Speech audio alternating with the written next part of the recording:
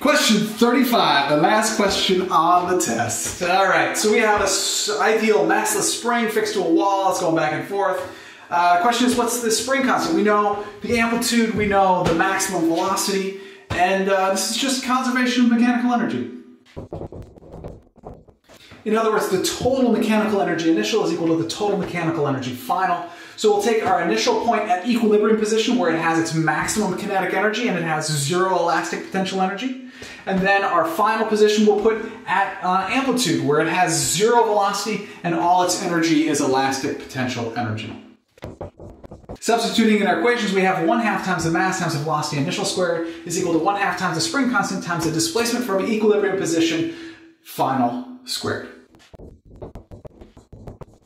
You can see we can cancel out one half from both sides. We can substitute in the maximum velocity for the initial velocity and the amplitude for the displacement, final displacement from equilibrium position, or the maximum displacement from equilibrium position, the amplitude.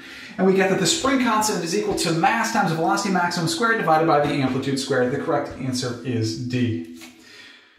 Those are my solutions to the multiple choice portion of the mechanics AP Physics C 1998 released exam. Thank you very much for learning with me today. I enjoyed learning with you. That's it. That's all I got.